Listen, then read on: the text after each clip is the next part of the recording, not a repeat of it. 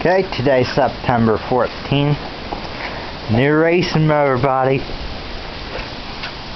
Made this last season. Raced it two times. Was uh, shitty ass gray. And um, yeah.